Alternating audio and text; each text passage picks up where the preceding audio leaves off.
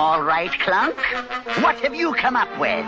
Well, Chief, I was it in it ring, then I she then when I you can't see us.